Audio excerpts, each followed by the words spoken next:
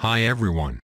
I have a Samsung Smart TV, and I'll be showing you how to fix the problem when the Wi-Fi is not working on the TV.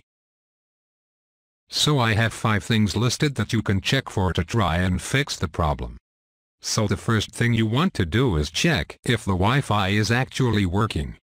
And you can do this by checking the Wi-Fi on other devices.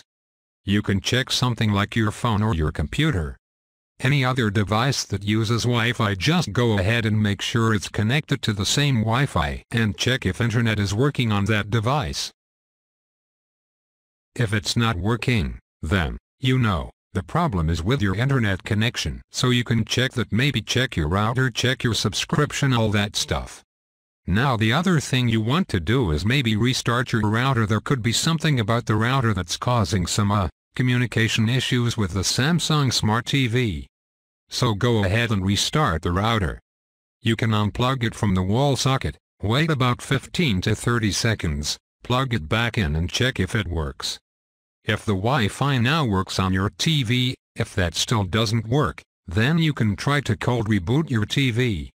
This involves unplugging it from the power socket.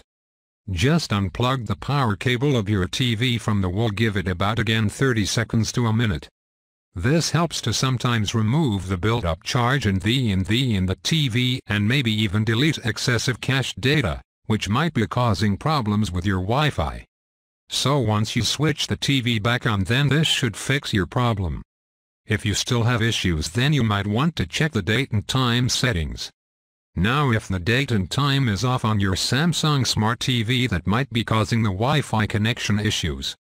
So just go to your TV settings. Go to All Settings. Under All Settings, you want to go to General and Privacy. Select that. And then go to System Manager. And then go to Time. Now here, select Clock and Clock Mode should be set to Auto for most people. Now, if it's not on Auto, it's probably on Manual. You can go ahead and set the date and the time.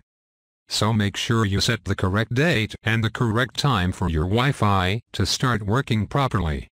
But if you don't want to go through the hassle, you can just set the clock mode to auto, which basically picks up the time from your internet connection. Now that should fix the problem.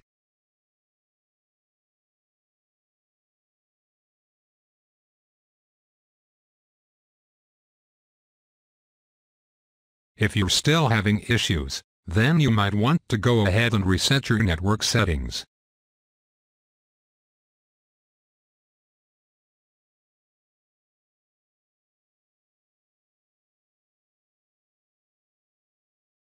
So once again, navigate to the settings window, and then go to connection, select that.